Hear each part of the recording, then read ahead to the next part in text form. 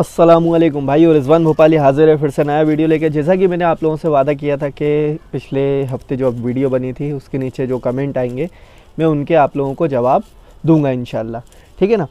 आ, लेकिन भाई अगर मैं पूरे कमेंट्स का जवाब देता हूँ तो वीडियो जो है वो बहुत लंबी हो जाएगी और आप लोगों को ही मज़ा नहीं आएगा। क्योंकि सबको पता है कि भाई सबके पास टाइम नहीं है और जल्दी जल्दी है ना लोग शॉर्ट वीडियो देखना पसंद करते हैं।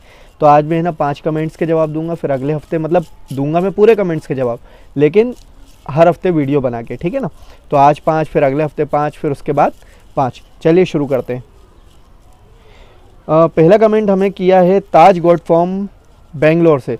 ये बोल रहे हैं वालेकुम भाई आई एम फ्रॉम बेंगलोर। मुझे आपकी हेल्प चाहिए भाई मेरे पास गोड से भाई उसके हाइट भी नहीं बढ़ रही है ना तो वेट गेन कर रहा है। आ, मैं लीवर टॉनिक भी दिया कैल्शियम टॉनिक भी दिया सब अच्छा अच्छा खा पी रहा है।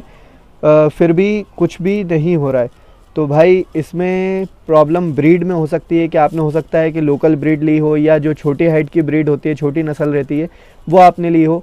तो ये उसका एक रीज़न हो सकता है बाकी जब आप इतना सब कुछ कर रहे हैं तो उसमें वेट गेन तो होना चाहिए था ठीक है ना? तो आप देख लीजिए कि ब्रीड आपकी कौन सी है ब्रीड हमें बताएँ। उसके बाद फिर इंशाल्लाह हम आपको तफसील से उसकी चीज़ें बताएँगे। इसके बाद दूसरा हमारे फेवरेट साबिर भाई ने किया है ये माशाल्लाह हर वीडियो देखते हैं सब मेरी नहीं सभी की। और उसके बाद कमेंट करते हैं।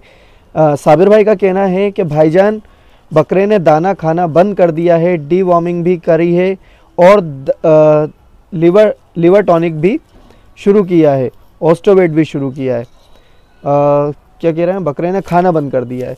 ये सब कुछ देने के बाद भी बकरे ने खाना बंद कर दिया तो भाई साबिर भाई चेक करेंगे बकरे को। प्रॉब्लम क्या है? कहीं वो बीमारी में तो नहीं है या उसके छाले वाले तो नहीं हो रहे हैं या आ रहे आ रहे हो सकता है दांतों के है ना? या पेट में कुछ प्रॉब्लम हो। तो पहले आप वो बीमारी का पता लगाइए इन फिर उसके बाद हम आपको पूरी तफसील से जानकारी देंगे। इसके बाद जैद खान है। जैद खान बोल रहे हैं, रिजवान भाई मेरे पास एक बकरी है, जो 12-15 दिन में जनने वाली है। उसके पिछले पैर में तकलीफ़ हो गई है, ऐसा लग रहा है जैसे उनमें वरम आ गया है, दर्द है, उनमें ठीक से चल नहीं पा रही है, वो बहुत आराम से चल रही है, जैसे बहुत दर्द हो क्या ये नॉर्मल है? जी जैद भाई, वैसे तो अधिकतर बकरियों में ऐसी प्रॉब्लम नहीं आती, लेकिन क्या होता है कि कई बार कुछ बकरियों का वेट बहुत ज़्यादा बढ़ जाता है प्रेगनेंसी के दौरान। जैसे भाई इंसानों में होता है, उनके पैरों पे वर्म आने लगता है तो उस वजह से इनमें भी होने लगता है। तो आप परेशान ना हो, गर्म पानी में हल्का सा नमक डाल के सिकाई करें उसकी इन आपको आराम लग जाएगा मतलब बकरी को आराम लग जाएगा सॉरी इसके बाद है tycoon god form tycoon god form बोल रहे हैं अस्सलाम वालेकुम वालेकुम अस्सलाम भाई। एक वीडियो ऐसी बनाओ बकरे की नेक और झालर पे वो कैसे बढ़ाएँ बनाए।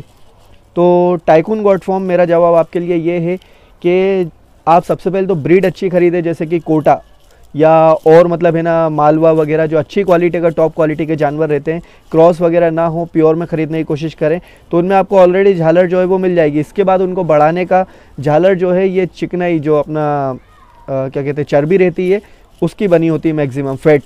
तो उसके लिए आप है ना, दूध और घी और जो तेल है, इस पर फोकस करें। इन इनशाला आप लोगों को कोई भी ऐसी प्रॉब्लम नहीं होगी। इसके बाद अगला क्वेश्चन है तारिक खान का। तारिक खान बोल रहे हैं, भाई, मेरे बकरे को इतना खिला रहा हूँ, लेकिन उसको लग नहीं रहा है डी भी करवा दिया है। आप कुछ बताओ, मैं क्या करूँ? भाई, कई बार क्या होता है कि है ना, हम सोचते हैं कि है ना सब मतलब हमारा बकरा जो लाख दो लाख के बकरे होते हैं, उन जैसा बन जाए, लेकिन ऐसा पॉसिबल नहीं होता। हर बकरा उस वेट तक, उस चीज़ तक नहीं पहुँच पाता है। ठीक है ना? सबसे पहले तो आप अपनी ब्रीड बताएँ कि ब्रीड क्या है, और आप लोग भी जो भी सवाल करते हैं तो उसके साथ अपने जानवर की ब्रीड भी बताया करें। ठीक है ना? तो उससे क्या है? और आसानी हो जाती है कि भाई ब्रीड जब पता चलेगी तो अपन बता पाएँगे कि इसमें क्या कमी आ रही है, क्या नहीं आ रही है। ठीक है तारिक भाई? तो आप ये बताएँ इनशाला हो जाएगा। मेरे ख्याल में पाँच से ज़्यादा कमेंट हो गए हैं ना? चलिए तो अब इनशाला बाकी, नहीं तो रुक जाओ, एक आध दो और पढ़ ही देता हूँ मैं। B complex and multivitamin injection every month तीन से पाँच दिन दे सकते हैं क्या? बिल्कुल दे सकते हैं, कोई प्रॉब्लम नहीं है। बी कॉम्प्लेक्स भूख बढ़ाने में बहुत अच्छा रहता है मल्टीविटामिन अच्छा इसकी इंजेक्शन की बजाय क्या इंजेक्शन से तकलीफ़ ज़्यादा होती है? इंजेक्शन से तो कोशिश करें कि कम से कम अपन लोग यूज़ करें, है ना? ओरल सॉल्यूशन अगर दे तो और ज़्यादा अच्छा रहेगा। बाकी इंजेक्शन की बराबरी नहीं कर सकता वो। इंजेक्शन अलग ही चीज़ है, अलग ही लेवल की चीज़ है डायरेक्ट असर करने वाली। लेकिन ये है कि सुई वगैरह चुबाना हर महीने अपने जानवर की गर्दन पे तो थोड़ी सी दिक्कत वाली बात होगी। आप क्या करें कि है ना ओरल सॉल्यूशन पे मतलब जो पिलाने वाले टॉनिक हैं तो उसमें ज़्यादा आपको बेहतर रहेगा। अगला है मैडमैक्स गेमिंग भाई बकरे की हाइट कैसे बढ़ाए? भाई बकरे की हाइट जो है उसके माँ बाप पे डिपेंड करती है, उसके जेनेटिक्स क्या हैं, उन पे डिपेंड करती है। हाइट बढ़ाने का कोई तरीका नहीं इसके ऊपर तफसील से मैंने वीडियो भी बनाया है, जिसको आप जाके चेक कर सकते हैं अपना, क्या बोलते हैं प्ले लिस्ट में मेरे बकरा नॉलेज चैनल की। तो आज के लिए इतना काफ़ी है। बाकी जो कमेंट्स बचे हैं इन उनको, उनके जवाब मैं आपको अगले हफ़्ते में दूँगा।